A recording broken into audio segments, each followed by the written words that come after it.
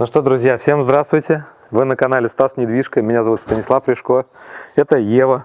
Сегодня мы говорим про то, как возможно реализовать вот такой вот проект, купить себе дом, имея всего лишь 20% денег от общей стоимости. Но помимо этого мы придем в гости к моему другу, а, к очень интересному, очень глубокому человеку, который смог объединить в себе деньги, социальную реализацию, материальную реализацию, семейную реализацию, но и духовную составляющую, потому что зачастую многие разделяют это и не могут найти баланс между одним и вторым. Безусловно, мы поговорим про загородную жизнь, про уют, про комфорт, про смысл жизни, про деньги, про состояние, про будущее, про общество. В общем, а, это такой душевный выпуск. Я желаю вам приятного просмотра. Вдохновляйтесь, образовывайтесь, получайте ответы на свои вопросы. Помните, что вопросы с недвижимостью, покупка, продажа или инвестиции, сейчас всякое бывает. Кто-то быстро продает, кому-то быстро нужно заземлить свои денежные средства. Вы знаете, к кому обращаться. Ниже будут мои контакты. А мы начинаем. Мы выставили свой дом, продали его на второй день. Вау. А второй день. Это цена, наверное, хорошая В была, том-то да? все и дело, что нет. Да, действительно, немногие об этом думают, потому что они находятся в состоянии, они делают мечту, но они потом вспоминают, и многие вспоминают как бы с горечью. И 25. Я говорю, какие 25? Я же тебе говорю, за 18, скорее всего, мы сможем его продать. Людям больно, люди потеряны, люди устали себя обманывать. Только сейчас начали понимать, что они очень долго себя обманывали. Мы его купили за 12, а продали за 24 500. Поездка 40, ну там у меня 45-50 минут до офиса на Арбате. В принципе, что есть удаленность от города, и иногда на какие-то встречи или какие-то там предложения ты уже так отвечаешь отказом. Сначала думал минус. А он тогда просил миллион сто в долларах. Поддерживаю с удовольствием на Алтае. Прям вот я прям вижу там полноценную общину, в хорошем смысле слова, в современном смысле этого слова. Туда, куда могут приехать созвучные люди, которые уже не привязаны к городу. Блин, это очень, ну просто, ну посмотри, какая красота, ну Игорь, ну вообще...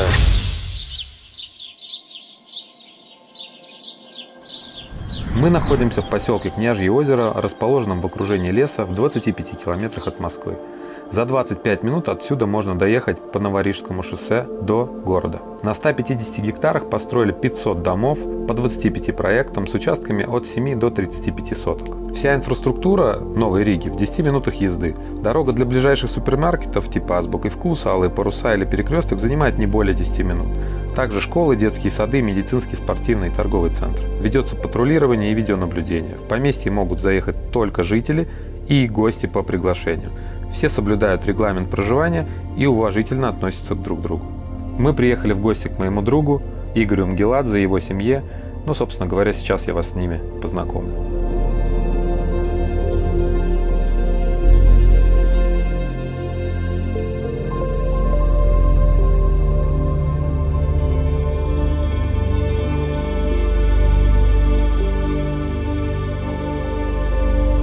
Я-то с тобой уже знаком, прекрасно понимаю полноту и глубину твоей личности. Как бы ты э, сам себя представил? Кто такой Игорь Мгеладзе? Смотри, а, есть роли, да, и там понятно, предприниматель, меценат, то есть, ну, это то, что а, на верхнем уровне, это то, что проявлено, то, через что я взаимодействую с миром. Вот я себя, а, если уже так как бы в глубину нырять, то точно считаю исследователем, и это уже для меня позиция, да, то есть в которой я живу, в том числе внутри этих ролей. Вот. И однозначно считаю все-таки себя, ну, как бы это ни звучало э, как-то возвышен, но духовным существом. То есть я понимаю, что я здесь прохожу опыт, да, что это для меня ну, определенный университет, внутри которого я нарабатываю свойства, качества. И э, в том числе такое понимание себя дает мне ну, большую устойчивость внутри разных событий, которые могут происходить. А реализуешь ты э, эту позицию, вот ключевая твоя роль, в которой ты реализуешь эту позицию? Ты предприниматель, ты занимаешься Ну, бизнесом. предприниматель, да, это достаточно активная моя роль, да, то есть через то, ну, через эту роль я привношу изменения в мир, да, то есть вот как бы это основная роль, через которую я делаю свой вклад. Вот, но она не едина, да, то есть у меня там я отец, я сын, я муж, да, то есть, ну, как бы ролей достаточно много, но если говорить про такую социальную, активную, то, конечно, предпринимательство. Мы находимся в твоем потрясающем доме. И он действительно потрясающий по своей атмосфере, по своему уюту. В нем очень много деталей, он очень хорошо спланирован, а, в нем много разных зон, он очень классно находится на прям а, у воды с видом на воду, да, пусть это небольшая вода, но это вода, это уже огромная ценность для загородного дома. Как ты здесь оказался? Почему здесь?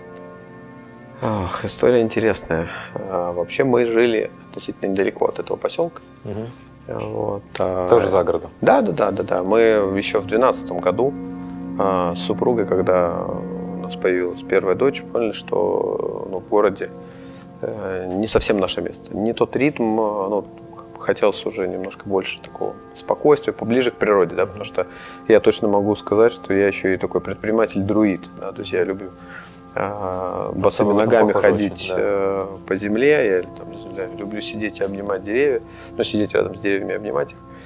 А, и мы переехали сначала рядом в Павлово, жили какое-то время там, э, в Павловские озера поселок. Вот, в один прекрасный момент э, моя супруга, она в этом плане э, такой хороший импульс всегда для меня. Mm-hmm. Проснулась, и это было, ну, на самом деле, достаточно неожиданно. Проснулся и говорит, все, нам нужно переезжать. Mm-hmm. Вот. Связано это было с, ну, как мы потом уже анализируя, да, потому что нам было интересно это как кейс разобрать. Связано это было в том числе с тем, что поселок, в котором мы купили дом, он вроде как бы был достаточно такой интересный замысел с точки зрения реализации, но половину поселка построили, потом начался кризис как раз там 14-15 год, и так и нет, приморозили. Вот. А, и мы приняли решение смотреть. Супруга начала анализировать э, ну, все, что здесь есть по этому направлению, да, Новая Рига. Вот, и мы поняли, что, ну, точнее, она мне говорит, типа, поехали, я нашла поселок, а, ну, вот хочу тебе его показать. У нас есть фотка, это когда мы приехали сюда первый раз вдвоем, и Вы сможете нам дать а, ее? Показывал, ну, она мне показывала поселок, типа, вот, и объяснял, почему, как бы он ей нравится. А, и одна из причин, то, что он действительно живой. То есть, ну, вот это поселок, в котором люди живут. Да, вот здесь прям как бы жизнь. Вот, и а, круто было да. внутри вот этого нашего знакомства да. еще и тот факт, что я где-то года за полтора до вот того, как мы оказались здесь с Олей, был в этом поселке, приезжал на день рождения к товарищу. Я тогда не запомнил название поселка, но по возвращению Оля сказал, типа, блин, был в прикольном поселке, типа, ну, клевое место, тут недалеко. Вот. И когда мы здесь оказались, я такой, типа, да ладно, это ж он. Вот помнишь, я тебе рассказывал. То есть уже такой, знаешь, матч как бы у нас э, случился. И э, мы приняли решение переезжать, причем, ну, в нашем случае, это, говорю, был такой прыжок веры. Э, мы, имея собственный дом в трех километрах, мы сразу сняли здесь то есть мы как ну, у нас э, была такая достаточно ясная картина, что нам для того, чтобы действительно это решение принять, для того, чтобы процесс запустился, да, нужно взять и совершить вот этот переезд. Потому что мы понимали, что мы сейчас здесь пока купим, пока найдем, пока там соберем на это деньги, потому что денег ну, не хватало, дома на тот наш бюджет были достаточно дорогие, да, такие, ну, как бы у нас не было столько денег. Вот поэтому мы приняли решение, что мы сюда переезжаем, снимаем, ну и дальше, соответственно, будем разбираться. Так мы, собственно говоря, и сделали. А, переехали, сняли здесь дом и э, начали уже смотреть, э, выбирать участки. Получилось, что сначала выбрали другой, перед сделкой, точнее уже на самой сделке отказались да, по причинам, вот, связанным как раз с колебанием доллара, потому что владелец хотел, чтобы в долларах э, сделка была, а мы э, договаривались о том, что у нас будет рассрочка, потому что у нас не было всей суммы на... А сколько было всего? На тот момент, а, он тогда просил миллион сто в долларах, ну, доллар тогда стоил что-то типа там 65, где-то там он летал. Вот. А, причем у него дом был, в котором ну, мы согласны были жить. То есть я имею в виду, что мы когда смотрели дом, он нам понравился, и мы могли бы условно переехать в него. Вот. Когда мы поняли, что не готовы идти в эту сделку, ну прям на, на сделке сказать, что давайте возьмем паузу, начали смотреть, а здесь было вот предложение по этому участку. Но предложение было такое, что там типа 60 э, миллионов, и при этом, э, ну, дом, как бы мы понимали, что нам нужно будет точно сюда минимум с очень таким прям полноценным ремонтом заезжать, с реконструкцией, возможно. И я у Ольги предложил, говорит, ну, она общалась с риэлтором, я говорю, предложи там наши условия, 50, отсрочка, готовы дать аванса 10 и там до конца года э, остальные деньги. Вот, и на наше удивление продавец вышел на контакт, вот, и вся эта история закрутилась. И дальше там еще череда таких событий, точнее, одно событие уже было до этого, вот, интересно. А а это все, ну, чтобы ты понимал, это там буквально дни, да, то есть это мы вот переехали, а, выставили свой дом а, на продажу, тот, вот, в это же время мы смотрим это, то есть это вот прям все вот, вот прям там один-два дня. И вот, говорю, на старте было сразу два таких очень прикольных а, момента. Первое, то, что он пошел нам навстречу, да, потому что я, честно говоря, тогда не думал, что такое будет. А второе, это то, что мы выставили свой дом, продали его на второй день. Вау. А второй день. И продали, я, я когда Это Оля... Цена, наверное, хорошая. В том-то да? все и дело, что нет. Ага. Я, я тебе честно говорю, это, ну, для меня это был шок. А, Мы пригласили друзей на новоселье, ну, это там было, условно, мы заехали там через неделю, и там мы там решили спраздновать новоселье. А, Лёля выставляет дом в субботу, мы в воскресенье празднуем новоселье. Звонок. Она говорит, ой, там покупатели переехали, ну, хотят посмотреть риэлтор, просят подъехать. А, вы только заехали и сразу переезжать? Ну, да, так говорю, мы отту- Нет, смотри, мы с того дома, с нашего, Да. переехали сюда. Ага. Вот, все, мы сняли здесь в аренду дом. А, все, я Да, понял. в поселке. Понял. Вот, и через неделю там а, празднуем новоселье, там, через неделю, через две, например, так. Вот. Здесь мы уже по сделке все, у нас уже идет процесс переговоров, то есть он там вроде ну, там, утрясаем. То есть уже пространство точно было уверено, что мы идем в это дело. Вот, мы выкладываем, приезжают люди, Оля мне звонит, говорит, они просят скидку. Я говорю, типа, сколько? Типа, полмиллиона. Я говорю, а какая изначальная цена? Она говорит, 25. Я говорю, какие 25? Я же тебе говорю, за 18, скорее всего, мы сможем его продать. То есть она поставила, ну, в такую хорошую цену. И я говорю, ну, не поверю, пока задаток не внесут. В следующий день мне принесли задаток. И знаешь, в чем прикол? Этот дом до сих пор продается. Это Тот, кто его купил, тот, кто его перепродает и не купил, может продать. да, тот, кто его купил, он купил его, оказывается, какой-то своей девушке, Мгм. а, той не понравился, потому что ей хотелось там, ну, у нас деревянный Он такой, хотел в дереве сюрприз да. сделать ей, да? Да, вот, он выставил на продажу и до сих пор продает. Мгм. Вот, то есть я, ну, думаю, что, знаешь, вот как-то пространство так сыграло просто.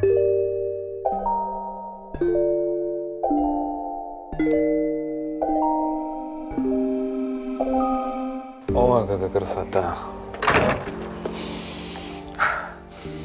Природа, ну и погода. Слушай, а есть ли минусы, с которыми ты столкнулся в загородной жизни? Знаешь, я сначала воспринимал, а, что поездка 40, ну там у меня 45-50 минут до офиса на Арбате, что это минус. Вот. Ну и в принципе, что есть удаленность от города, и иногда на какие-то встречи или какие-то там предложения ты уже так отвечаешь отказом. Сначала думал минус, а потом понял, что плюс. Начинаешь сортировать, знаешь, куда ехать, куда не ехать. Потому что когда ты живешь в Москве, вот в этой, как бы, знаешь, там 15-минутной или 20-минутной э, дальности подлета, то можно быть неразборчивым на встречах. А часто ты ездишь в город? В город? Ну, сейчас два-три раза в неделю. Ну, бывают, конечно, периоды, когда... я Работаешь прям- каждый день? Да, у меня кабинет, я здесь работаю спокойно. Ну, как бы есть, опять же, давай там, суббота, я, как правило, я с семьей провожу. Вот. Плюс у меня многовато а, поездок, э, которые не предполагают нахождение, в принципе, в Москве, да, там либо за границей, либо по стране. Вот. Там понятно, что нет. Как сейчас, да, небольшая поездочка Ну у нас там планируется. Намечается. Немножечко, да, там, глядишь, и Там, где еще длинные. и длинные, там, глядишь, и кино придется снимать.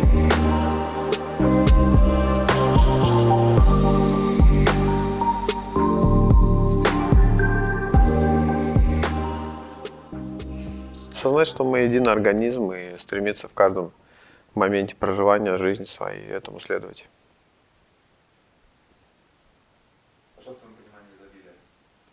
Изобилие – это когда всего в достатке, что весь твой творческий потенциал может быть реализован, потому что все необходимые ресурсы есть. Как человеку, у которого сегодня нет всего в достатке, как ему кажется, а прийти к изобилию. Осознать, что у него все в достатке уже сейчас. Потому что на самом деле у нас всегда есть все необходимые ресурсы для следующего шага. Счастье, что это для тебя и почему многим не удается открыть для себя это состояние? У тебя ответы в вопросе. Счастье, счастье – это состояние. Ну, Если коротко. А, потому что многие считают, что это где-то там впереди, а это здесь, сейчас. И вот фразу, которую я часто говорю, да, там на выступлениях, не существует пути к счастью, счастье есть путь. И вот это осознание, да, переключение с того, что сейчас мне надо, вот, как бы там я буду счастливый, на то, а что я сейчас могу сделать, да, вот как бы вот сейчас, да, чтобы быть в этом состоянии, вот прямо здесь и сейчас, не куда-то туда, а вот здесь. Что вас вдохновляло, когда вы этот дом создавали? Чем вы вдохновлялись? Потому что ну, внутри очень атмосферно, и чувствуется, что это делалось с вами. Идеи, скорее всего, тоже ваши. Да, возможно, помогали дизайнеры, но мне кажется, в моем видении, что вы тот, тот клиент, который четко понимает, что он хочет в большинстве своем. Ну, это, это действительно так, но знаешь, как э, четко понимаем, что мы хотим в динамике в какой-то, да, потому что он, он, ну, он, он живет до сих пор, знаешь, что-то появляется, что-то убирается, то есть как такая постоянная история э, вдохновляла.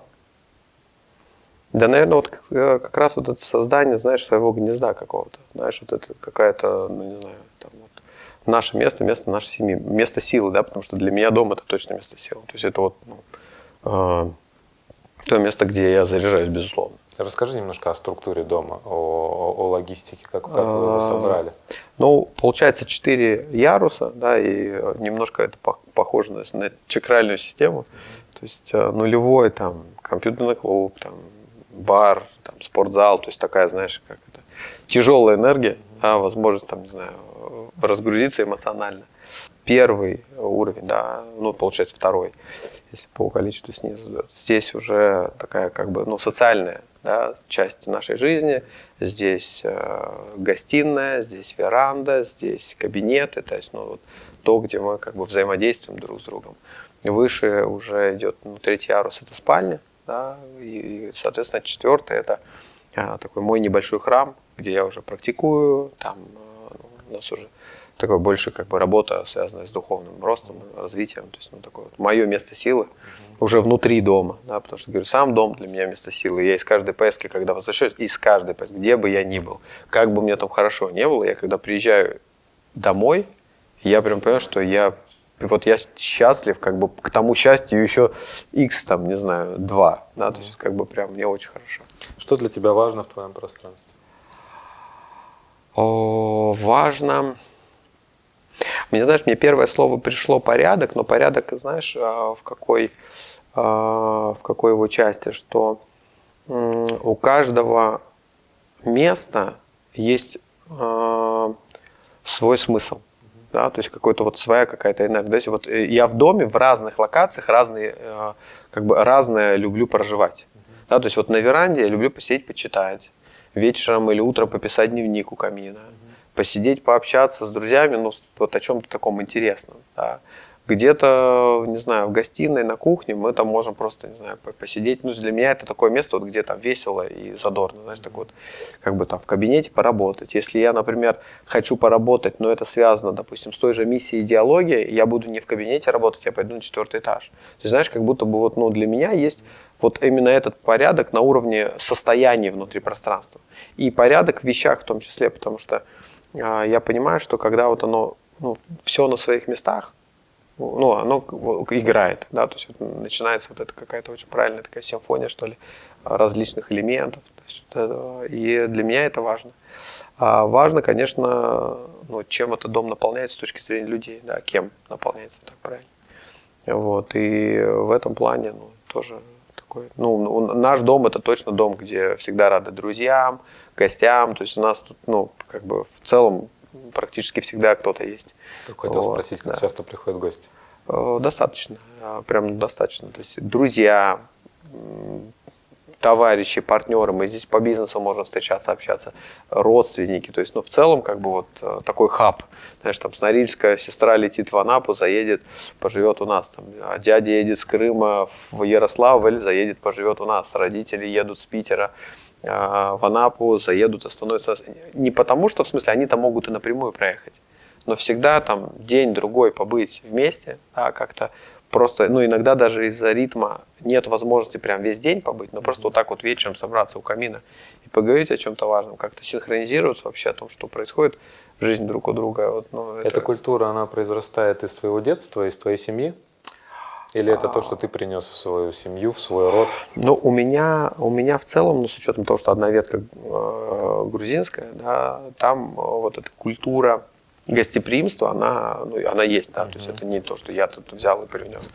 Вот, а, наверное, внутри нашей семьи я являюсь таким активатором этого, да, потому что у меня и братья есть, и плюс у меня же достаточно длинный военный опыт, да, я там 9 лет жил в казарме. То есть в целом мне привычно да, быть, условиях. да, быть, э, вопрос даже не условия, а быть с людьми, угу. да, то есть как бы быть в коммуникации в постоянной. Вот. А Олечка, она ну, немножко другая, хотя она тоже расположена к, а, а, ну, к встречам, к общению, но там, скажем так, в основном там инициатор я. Да, там, типа, давай вот друзей позовем, а дальше там. Угу. У нас на четвертом этаже проходила, возможно, первая в мире, по крайней мере, у ребят, кого мы нанимали, точно первая страцессия друзей. Мы собрали всех друзей, решили провести страцессию друзьями вообще, какие у нас ценности, а какая у нас может глобальная да? Совместная, да, совместная идея. Ты когда поднимался да, да, наверх, видел флипчарт? Обратил, обратил, вот. Да. И здесь как бы ну, много таких каких-то прикольных историй сами, ну, случается, да, которые ну, для меня как раз важны. То есть они являются наполнением. Но и когда здесь тихо и спокойно, я тоже люблю. А вот я утром просыпаюсь рано, и весь дом спит, тишина, спокойствие. И это тоже очень ценное для меня время.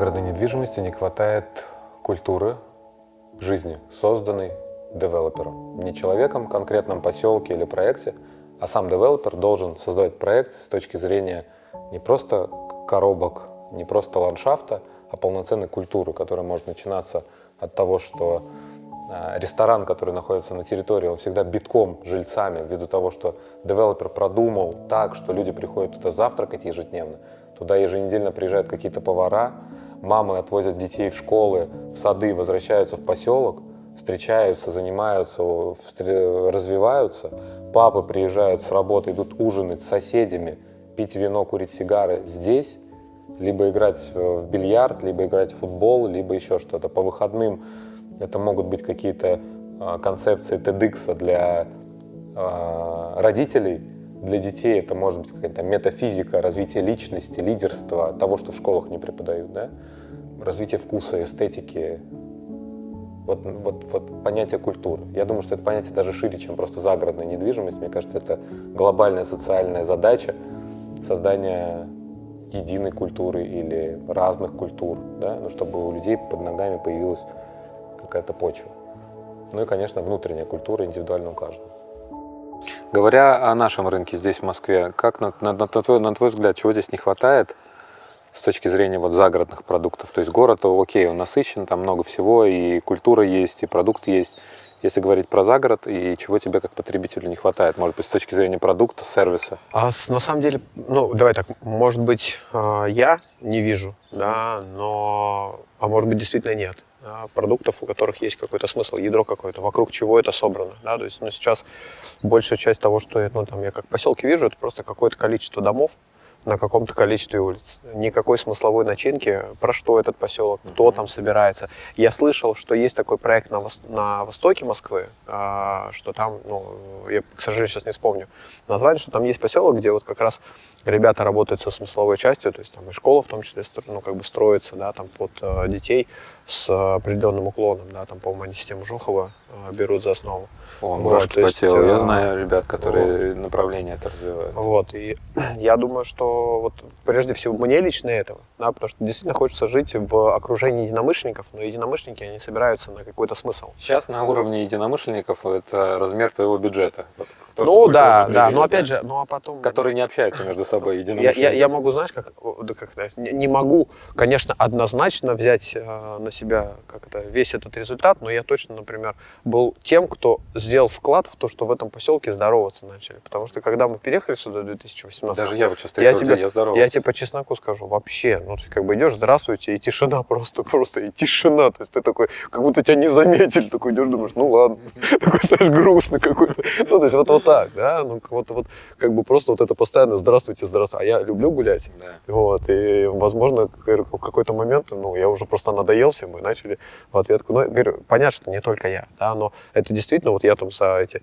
четыре года наблюдаю, как хлоп, здесь стало, ну, в моем понимании, намного дружелюбнее, да, то есть как бы есть общение, и, и то, все равно это, говорю, не одно и то же, а, как если бы это было создано, говорю, вокруг какой-то определенной смысловой ну, составляющей, да, когда там, не знаю, это поселок людей, которые там, не знаю, вот там, в этой отрасли творят вместе, да, или там у них есть э, схожие ценности, да, когда там есть в том числе общие зоны, потому что вот я когда фантазировал, да, на тему вот этого, ну, города, пространства, да, как оно может быть, и в том числе уже там анализируя свой опыт, да, вот, ну, как бы я построил дом, я понимаю, что у меня а, часть этой площади, она, ну, как бы, она функциональна, но она мне не- нет нужды, чтобы она была у меня в доме. Зачем мне в доме спортзал, да? Ну, как бы я закрываю необходимый спортзале, потому что здесь нет как бы какого-то клевого спортзала общего.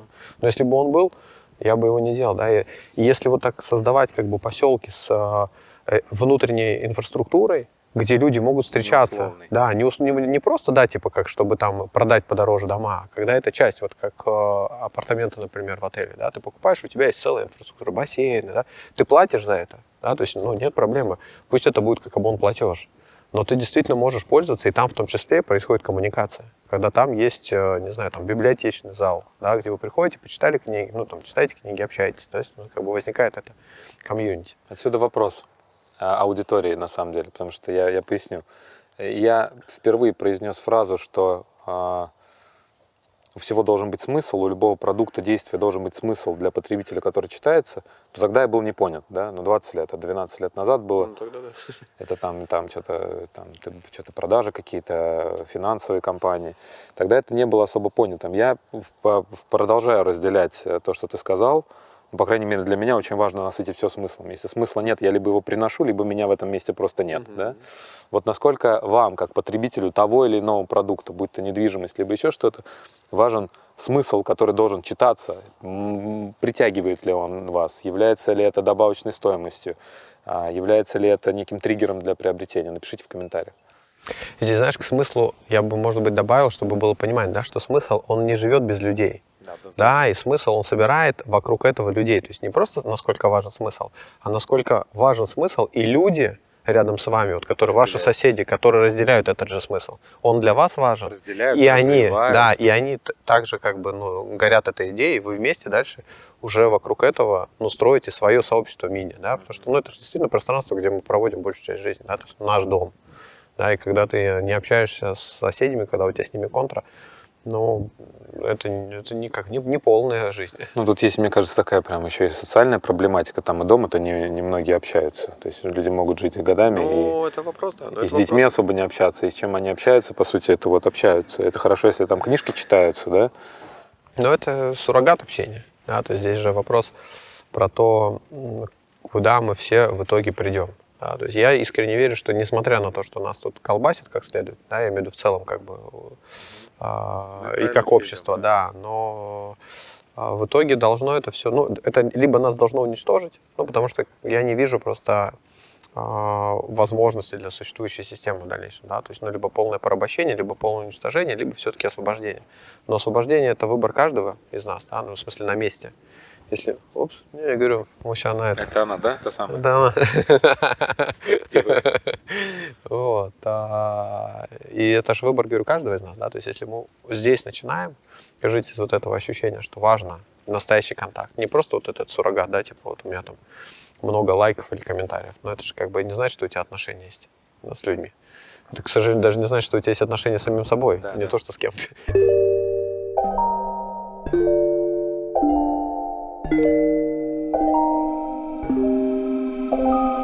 Мы когда с тобой знакомились, ты рассказывал мне историю, что, по сути, когда вы ввязывались в эту сделку, в покупку, да, а, не было всей суммы и не было понимания, такой Мгм. уверенности не было. То есть это была некая такая... Прыжок а, веры. эк- Я это так называю. Прыжок это был веры. прыжок веры, да. У нас просто был до этого опыт, когда мы покупали коммерческую недвижимость. Когда мы также вписались на покупку 70 миллионов с двумя с половиной.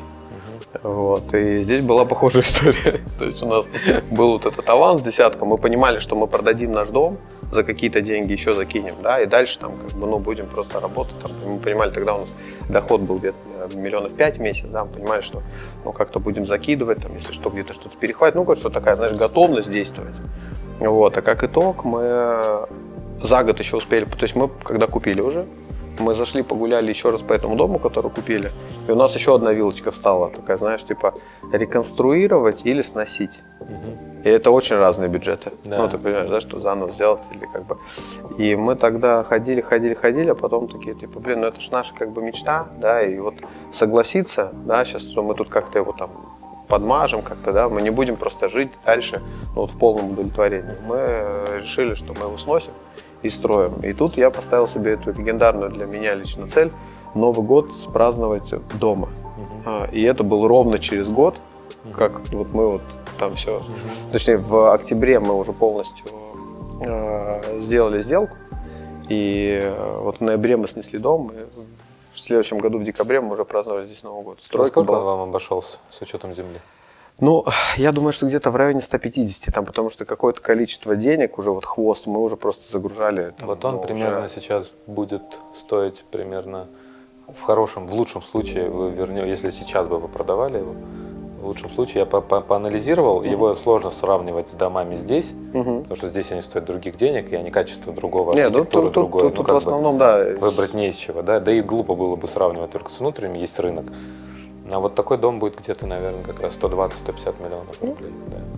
Я, я, знаешь, я вот давно уже понял, что загородные дома, ну, если, конечно, как-то особенно, ну, как бы вот особенно как-то не подходить с точки зрения, как ты дальше его будешь продавать, Мгм. вот, что это всегда такая история очень-очень, знаешь, как бы на любителя. То есть, э, ну, вот как у нас, да, там пришел человек, купил, да, хотя мы когда-то тот дом, который мы продали, мы его купили за 12, а продали за 24 500. Вот здесь такая же история, то есть, но рынок очень странный, да, то есть то, что ты смотрел, как бы, ну, тут предложение, оно в основном Ну, просчитать это возможно. И с учетом нашего опыта и своего опыта профессионального, я могу сказать, что да, действительно, немногие об этом думают, потому что они находятся да, в это- состоянии, это они мечта. делают мечту, но они потом вспоминают, и многие вспоминают э, как бы с горечью, потому что когда ты выходишь на рынок, ты думаешь, так, сколько я там купил, ага, сколько я там вложил, сколько там у меня этот суно- унитаз стоит, сколько вот это, сколько вот то, вот она цифра, а эта цифра там, не знаю, в полтора раза выше э, среднерыночного, он пробует, пробует, пробует, а потом уходит с нулем, а, Ну, с минусом. Мы, мы Да. в этом, мы в этом случае, я не скажу, что говорю как-то особенно заморачиваться, мы просто делали дом для себя. Мгм. Вот поэтому я, я думаю, что, наверное, как бы так оно и есть, что так оно и стоит. Что ты выделишь из э, основных достоинств жизни загородной? О, вообще Для другое, тебя, для вас, для вашей семьи? другое ощущение. Есть, знаешь, вот я, ну, я физически чувствую а, изменения, когда я возвращаюсь с города. Да? То есть город, ну, такой ритм такая, да. Ну, вопрос даже не то, что высасывающий, вопрос в том, что он тебя захватывает и начинает Да, вот как бы, да, то есть вот эта внимание, динамика, время. динамика, динамика. Я сюда приезжаю, я понимаю, что я прям, ну, вот как бы я отдыхаюсь, я вот как бы, мне, мне хорошо. Детям здесь однозначно, в моем понимании, лучше, да, друзья в поселке бегают и побежали играть, Школа бегать. тоже рядом у них. Да, школа тут вообще, в моем понимании, одна из лучших. Да. Вот. И в этом плане, кстати, здесь хороший и район, и сам поселок, потому что все есть. да, то есть на территории поселка есть все, что нужно. Поэтому там, когда карантин был, у нас просто не было нужды ездить в город. Ну, как бы все здесь было. Да, то есть, ну, есть. Вот поэтому, ну, первое, это, вот, э, говорю, другое ощущение себя, да, здесь. Э, Второе, это в целом вот эта возможность э, быть на природе, да, потому что для меня коммуникация, говорю, с землей, с деревьями, там просто вот, ну, иметь возможность смотреть на зелень, она ну, важна. И плюс пространство, потому что все равно, какая бы квартира ни была большая, все равно это не дом. Да, то есть вот тут как бы возможность взять, выйти с порога вот так вот, как бы, знаешь, вот это, я понимаю, что в квартире все равно это как-то по-другому. Да, то есть ты там вот как-то встроен в какой-то этаж,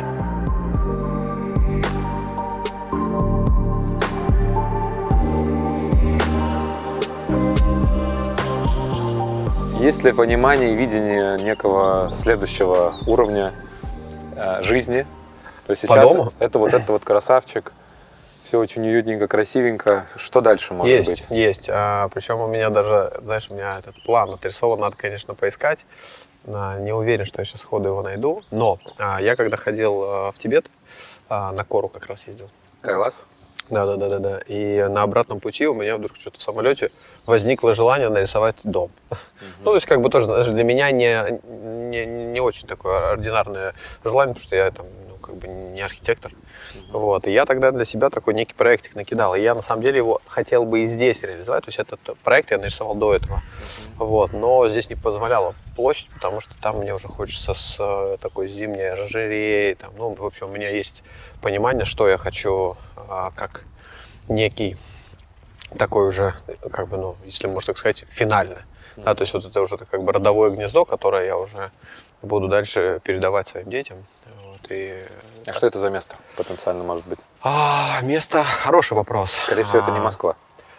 Знаешь, как это не Москва с точки зрения того, что это, скорее всего, все-таки не близко к Москве, но сама полоса мне очень нравится. Да? То есть все равно я, э, несмотря на то, что ну, там, в той или иной мере ощущаю себя человеком мира, я очень, э, ну, как бы, что ли, привязан, да, то есть, ну, я вот прям люблю нашу природу, я люблю нашу страну, и у меня, ну, пока, да, пока мне это больше видится как такие вот, знаешь, наши сосны, такой, знаешь, просто старый хвойный лес. Знаешь, вот Мгм. что такое. Это не отменяет того, что будут просто и другие локации, да, потому что я хочу на Алтае, да, место. Я хочу... Я тебя поддержу с удовольствием на Алтае. Прям вот я прям вижу там полноценную общину, в хорошем смысле слова, в современном смысле Мгм. этого слова. Туда, куда могут приехать созвучные люди, которые уже не привязаны к городу, где будет культивироваться вообще другой формат взаимоотношений, труда, а, созидания, свободы, ценностей.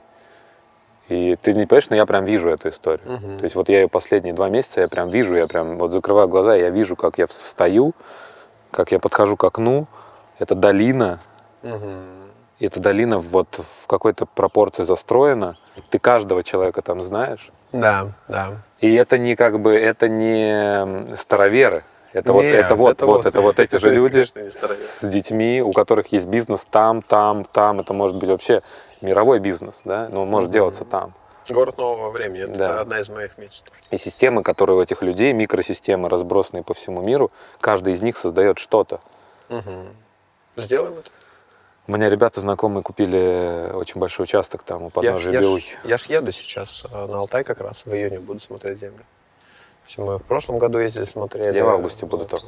В августе, кстати, скорее всего, мы тоже поедем еще раз, потому что мы в этом году хотим все-таки уже найти ее. Вот, и сейчас мы поедем, я буду 9 дней, там, ну, часть с ребятами, там 3 дня с Лёлькой, с компанией будем, а потом 6 дней мы хотим просто взять машину, вот, покататься, куда глаза глядят, поискать, найти это место, как бы почувствовать его. А как, какая часть Алтая?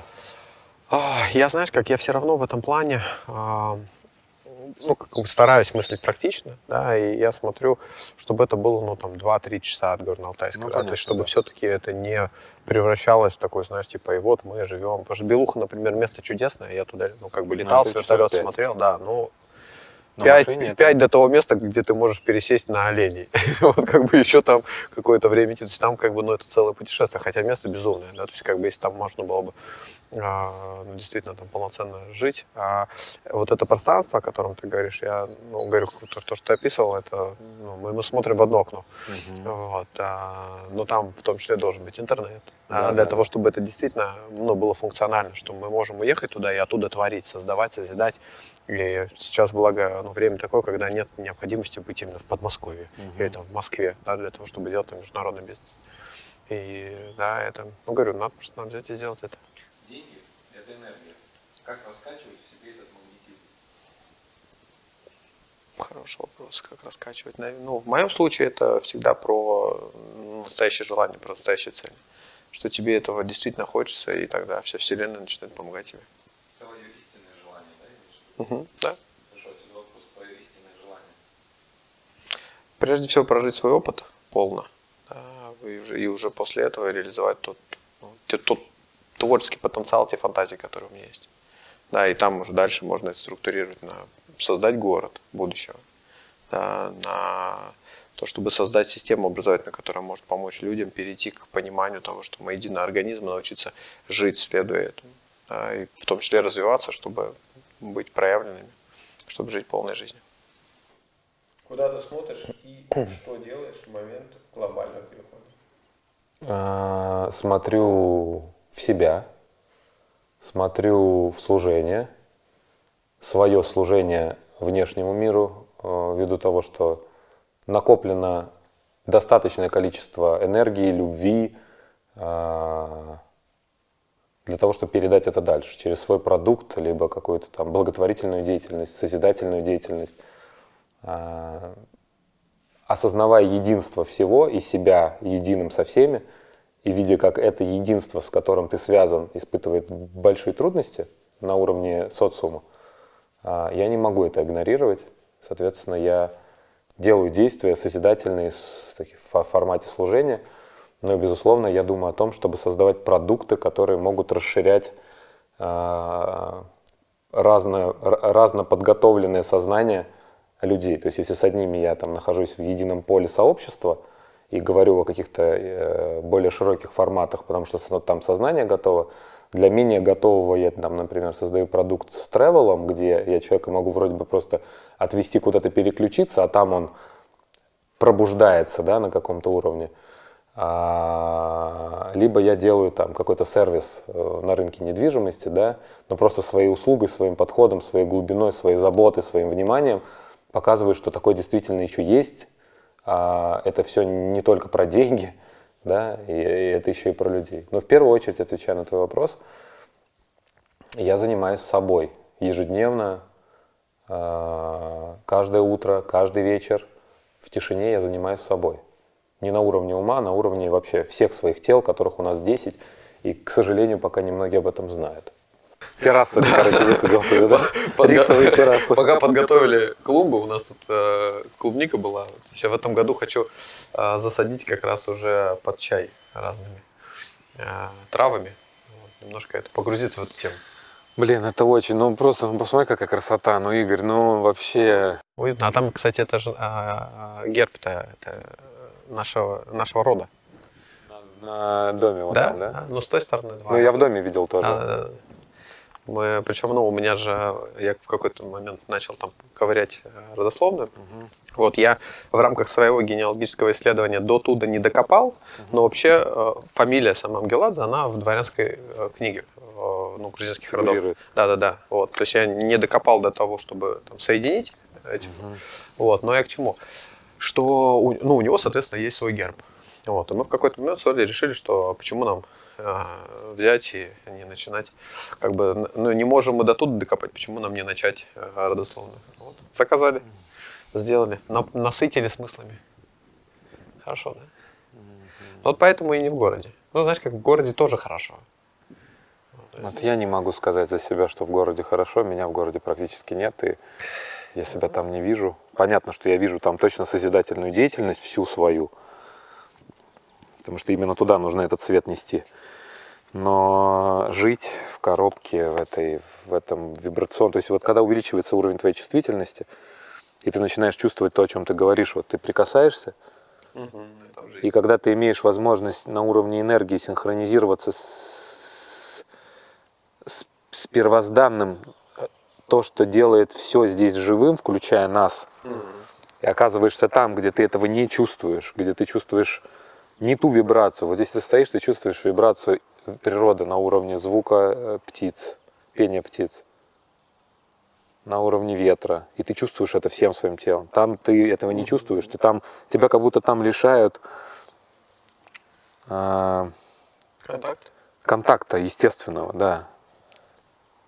И это норма, в которой очень многие привыкли жить, и это, наверное, нормально. Но в какой-то момент мы по-разному пробуждаемся, да. Это не- то есть 10 лет назад это звучало очень смешно, 5 лет назад вроде бы как-то уже Уже начали уже странно, да, принимать. Сейчас это просто вот оно об этом на каждом углу говорят, да. То есть ты просто пробуждаешься и в какой-то момент ты понимаешь, что это какой-то, э, а где жизнь-то, это не есть жизнь, а где жизнь? И тут он начинаешь искать, а жизнь-то она, ап, Я недавно, знаешь, да. задумался о том, что огромное количество людей, да, ну, возможно, подавляющее, а, не соприкасается голыми ногами с землей там чаще одного раза в году. Знаешь, вот они съездили в отпуск, как бы, и там как-то И не вообще, придали да. значения. Да, и не даже, да, даже не, да, и даже не обратили внимания вообще, что произошло. А вот я, я прям ощущаю это.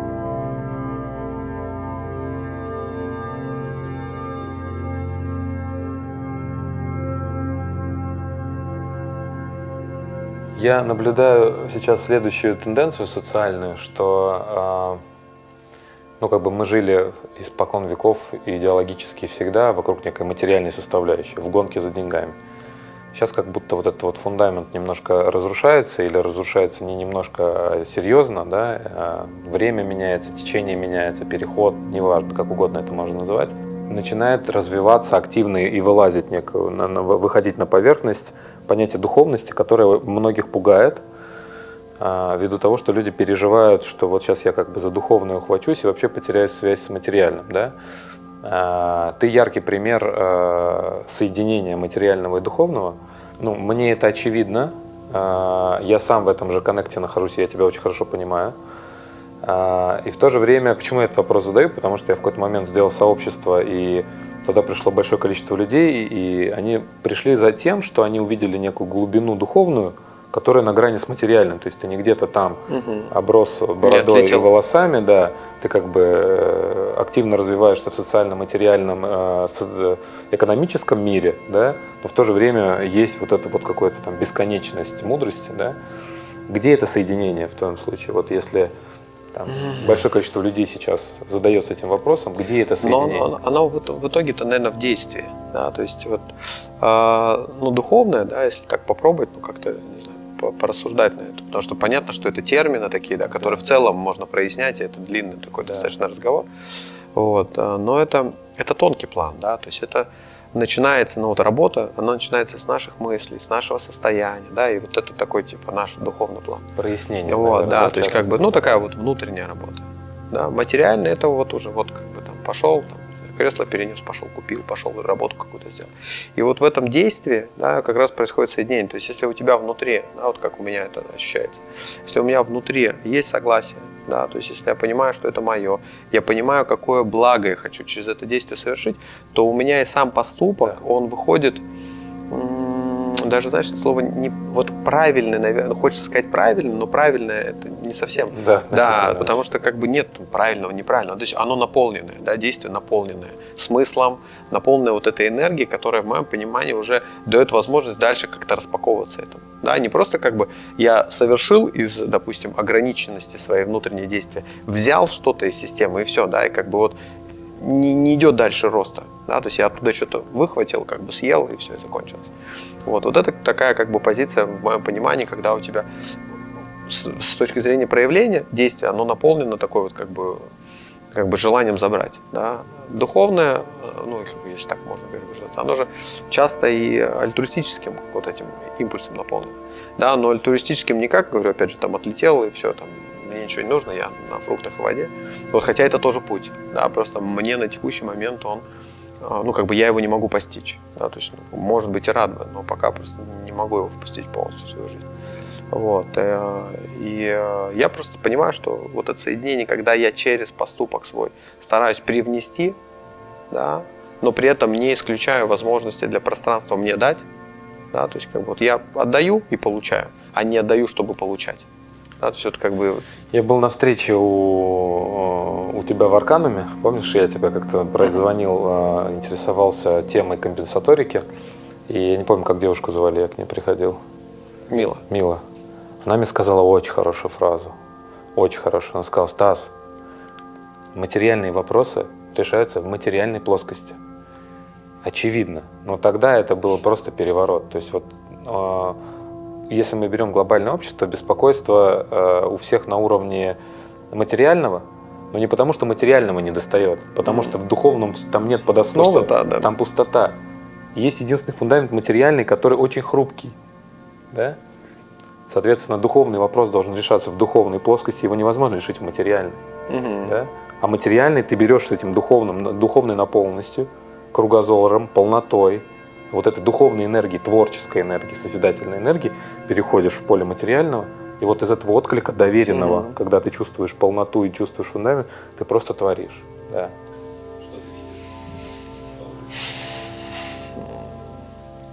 Но 90 это уже хороший возраст такой.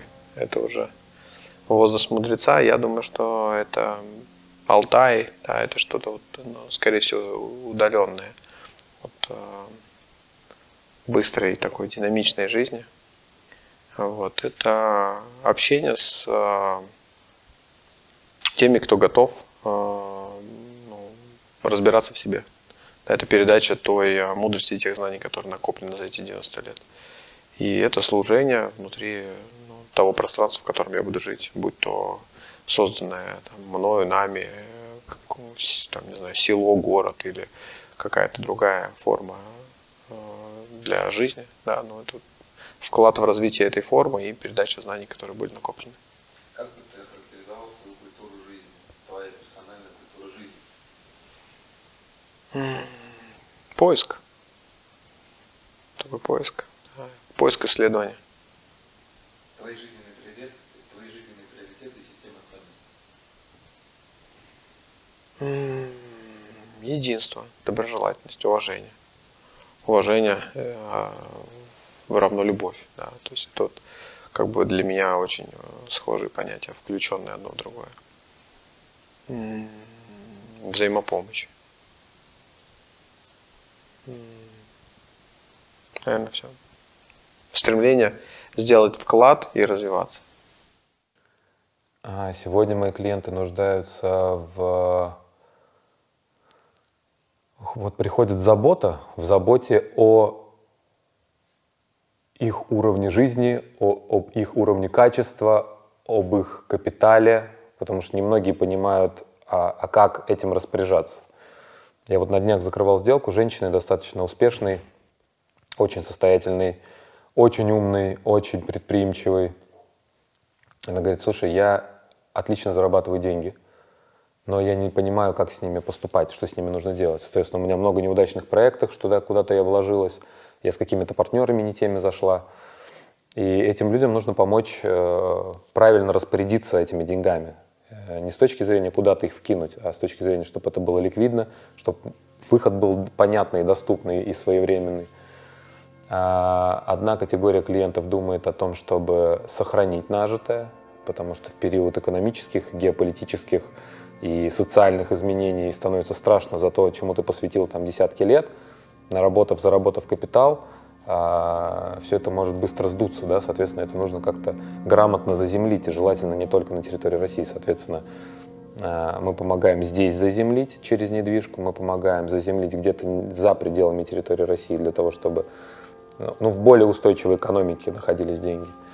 А часть клиентов нуждаются сегодня в быстром выходе из своих активов, что мы тоже помогаем сделать для того, чтобы высвободить деньги и сделать то же самое, что и предыдущие, заземлить их где-то не в России, потому что люди переживают за кризис. Мое отношение ко всему происходящему, что, ну, э, знаешь, я тут недавно мем такой увидел, что наше поколение много лет говорило о том, что ну вот они в 90-е, значит, на приватизации там все получили. Великолепно, мы заходим в тот же самый период.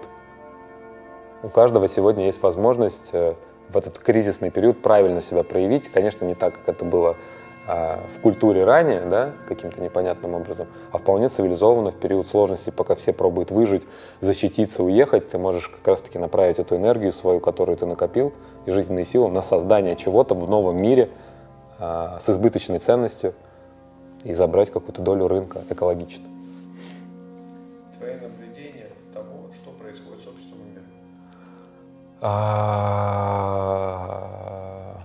Происходит э, социальное разрушение на уровне каждого отдельно взятого индивида.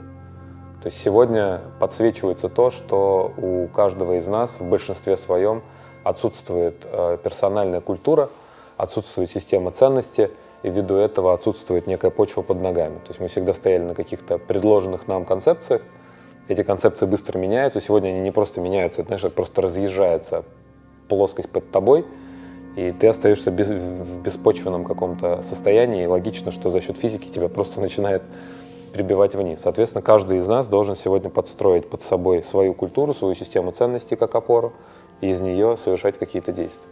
Людям больно, люди потеряны, люди э, устали себя обманывать. Э, вернее, не только сейчас начали понимать, что они очень долго себя обманывали. И это, наверное, тот самый э, переход, о котором мы говорим. Многие говорят, пишут, и это стало просто ну, очевидным для многих, для тех, кто даже был очень далек от этой темы. Сегодня он понимает, что что-то меняется, и меняется не только на уровне экономики и геополитики. Меняется вся начинка, да, должна проявиться какая-то истинная природа, истинная программа, которая внутри каждого из нас живет.